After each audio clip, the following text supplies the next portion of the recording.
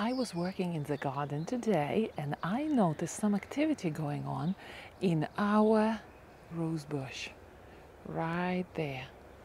And I decided to go and look. And guess what? A family of cardinals decided to do a nest on the same spot as it was last year. Who knows, maybe they were baby chicks growing in that nest.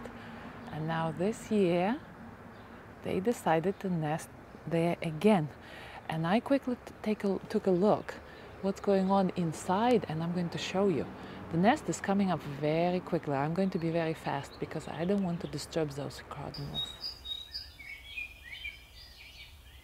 Here it is. A nice nest. A big one. And cardinals are laying the nest with leaves, dry leaves. Beautiful.